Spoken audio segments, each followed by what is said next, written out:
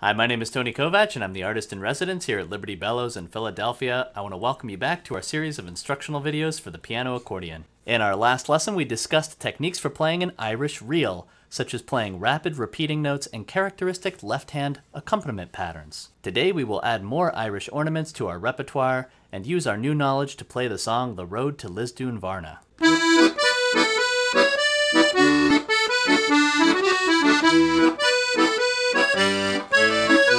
えっ?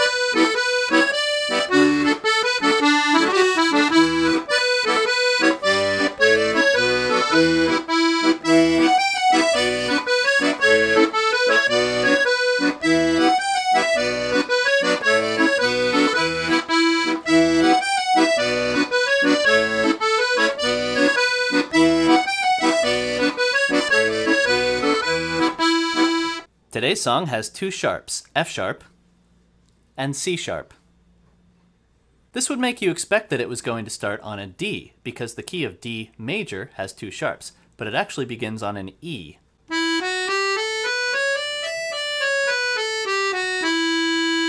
If you've been working through the series, you should recognize the characteristic sound of this scale, which sounds both happy and sad, as the Dorian scale. This is because the Dorian scale has a flat third and flat seventh, which gives it a partially minor sound. Another dead giveaway that we are using Dorian today is the use of a major chord, a whole step below the tonic. This chord is built on the flat seventh scale degree and is used more common in Dorian music than in minor. In this case, that chord is D major. A lot of people say that this gives the music a Celtic or a pirate vibe.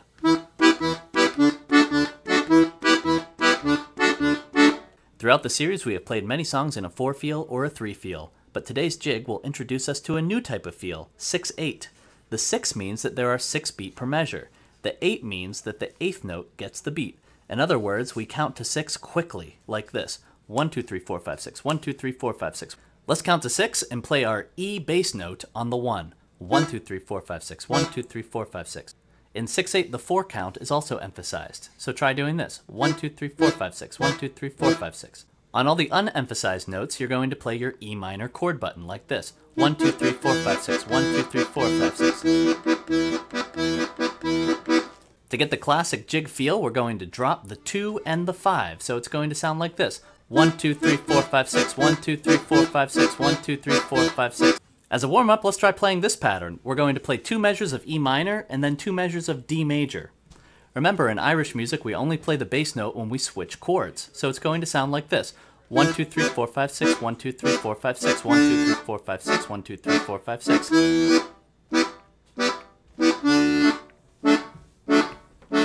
Try repeating that a few times.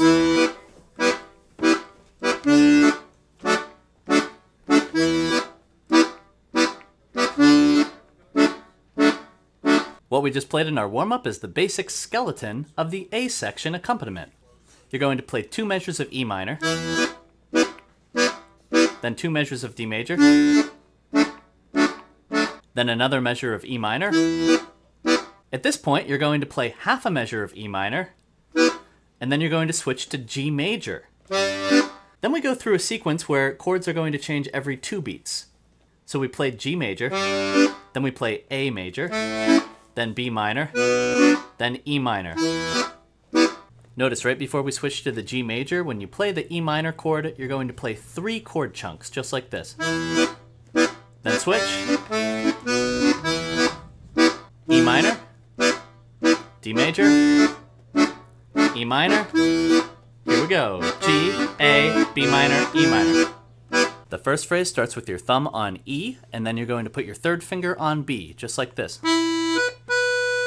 That's E, B, B. And then the second part of the phrase is going to go from A up to D. Remember, there's a C sharp in this key. So the phrase sounds like this. And here is where we're going to add a grace note. Our grace note is going to occur on the second B. We're going to very quickly play a D with our pinky, just like this. Notice that D I quickly sneak in there. So the phrase sounds like this. The next part of the song highlights a D major chord. You're going to start with your second finger on F sharp and your fourth finger on A, just like this. and then your thumb goes down to D.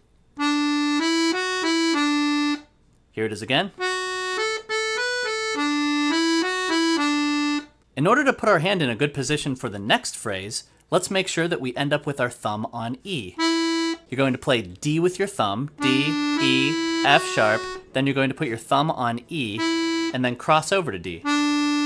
That way your hand is in the perfect spot for the next phrase of the song. To recap, the D section looks like this. This section sounds a little dull, so we're going to add something called a mordent. It's going to sound like this. On the section where we start with D, we go D, E, F, and then you're going to very quickly play a G and come back down, just like this.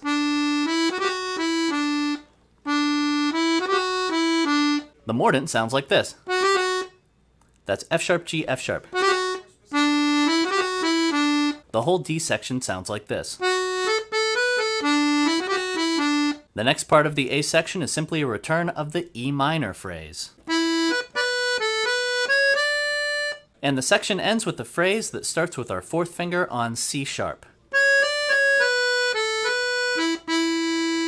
Here it is again. The whole A section sounds like this.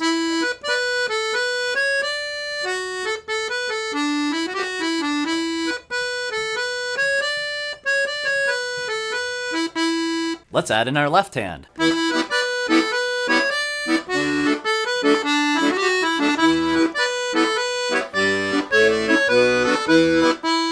Students may be struggling with finding the timing for the beginning of that chord sequence. It occurs at the very end of the second E minor phrase. We're going to switch to the G major chord as soon as we reach the top note of that phrase, just like this.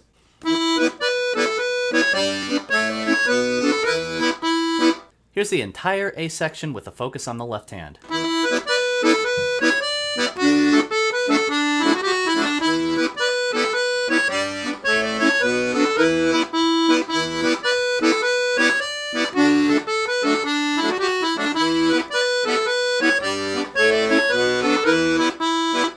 Chords for the B section are a lot simpler because they tend to only be played for one measure at a time. The first phrase is going to be E minor, B minor, A major, B minor, just like this.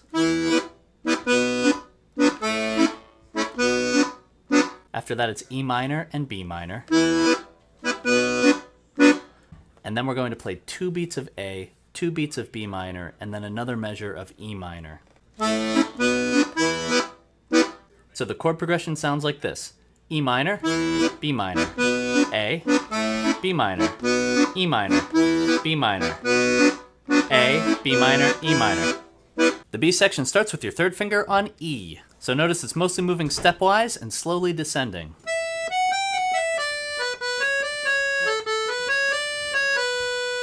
And then the second phrase is nearly identical.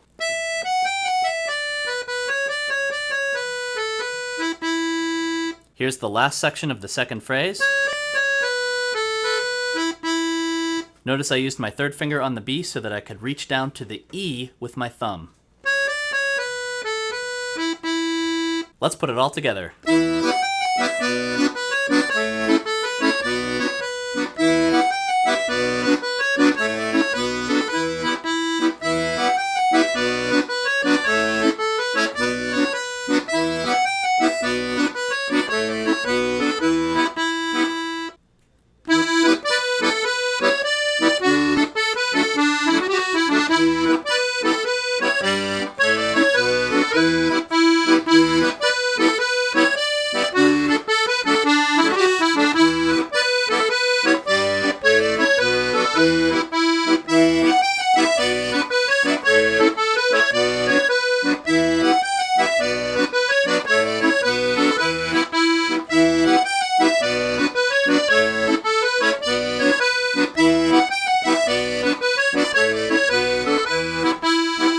Us next time as we explore techniques used in Scottish music. Thanks for watching.